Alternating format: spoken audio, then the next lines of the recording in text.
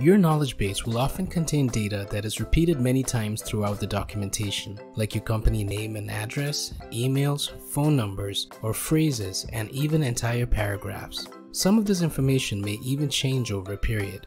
Document360 offers a couple of features under the Content Reuse section that help with dealing with these types of data named variables and snippets. Let's first look at how we can store information in variables and use it within a project.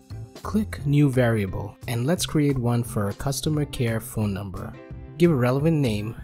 By default, the variable will be available to use anywhere in our project, but we can limit the visibility to the current language by turning off the global toggle. Enter the phone number in the value field. Click Add and let's go into our documentation. Under the technical support category, we have an article that helps users get in touch with their customer care team, and we'd like to enter the phone number here. There are a couple of ways to do this. One is by clicking on Content Reuse and find a variable, then click Insert. Or if we know the merge code value, we can simply type that here. If we publish the article, we can see the updated phone number.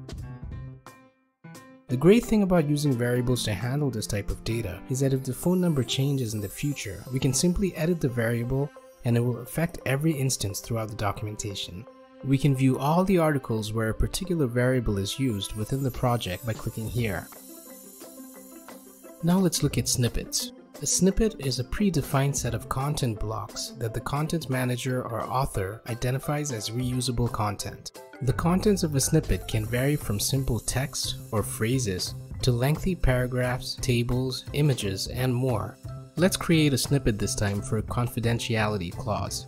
We can use the formatting tools to design the snippet and even add images and hyperlinks. Now let's go into an article and insert the snippet. Once we publish it, we can see the content here. We can also insert a snippet as a local copy, which allows us to use just the contents of the snippet but is disconnected from the original. This means that any changes you make here or to the original snippet will not affect each other. This can be useful when you require old information that never changes, like a privacy policy for a specific product that's obsolete. And just like with variables, we can see where the snippets are being used, excluding the ones that were added as a local copy. As you can see, using snippets and variables to handle repetitive data within your project can help you quickly append information to any article and efficiently manage large-scale changes to your documentation.